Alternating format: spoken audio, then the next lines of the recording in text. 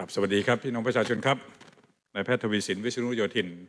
มารายงานตัวในฐานะโฆษกของสบคนะครับ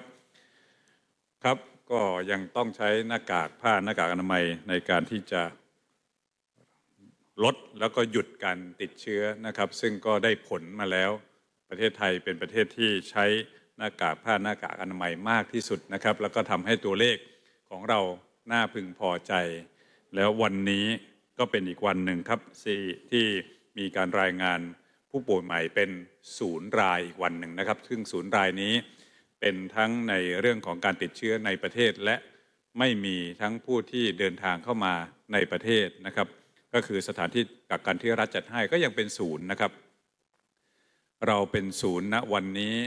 รวมมาแล้ว 23 วัน แต่หลายท่านคงได้ฟังจากนักวิชาการนะครับ ถ้าจะให้ดีต้องสองรอบของ 14 วัน คูณ 2 ก็คือ 28 วัน เพราะฉะนั้นถ้าจะให้ดีขอให้ท่านอยู่ในหน้ากากผ้าหน้ากากอนามัยกันอย่างครบถ้วนนะครับ เราอาจจะต้องอยู่อย่างนี้กันไปอีกระยะยาวๆกันเลยครับ แต่ถ้าจะให้ดี 28 วันนี้ก็บอกยาวๆเท่าไหร่ล่ะหมอมันจะยาวเกินไป ก็ไม่รู้จะลุ้นกันตัวเลขตรงไหน เอาสัก 28 วัน เอาใกล้ๆนี้ก่อนได้ไหมครับ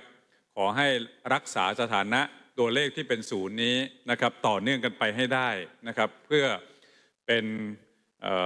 สถิติของไทยแล้วก็ผมเชื่อว่าน่าจะเป็นสถิติที่ดีงามของทั้งโลกนะครับ ซึ่งก็มีหลายประเทศที่เป็นศูนย์นานๆ อย่างของจีนเนี่ยก็มากกว่าเรานะครับเขาก็ยังมีการติดเชื้อเข้ามาซ้ำใหม่ได้ของเรานานที่สุดเท่าที่จะนานได้นะครับ แต่ขอลุ้นต่ออีกสักหน่อยหนึ่งนะครับ ตัวเลขของผู้ป่วยยืนยันรวมสะสม 3,135 ยังนิ่งเท่ากับเมื่อวานนะครับ หายแล้วเพิ่มขึ้นอีก 3 รายเป็น 2,996 เสียชีวิตไม่เพิ่มขึ้นเป็นข่าวดีครับ อยู่ที่ 58 รักษาตัวอยู่ในโรงพยาบาลตอนนี้ 81 รายนะครับ ก็มาดูในแผนภูมินะครับ ที่เป็นระลอกแรกอยู่ซ้ายมือสีเทาๆเนี่ยนะครับ ก็แล้วก็มาแตะพื้นนะครับมี ตารางทั้งหลายกำกับวันเวลาเพื่อให้ได้รับทราบนะครับใน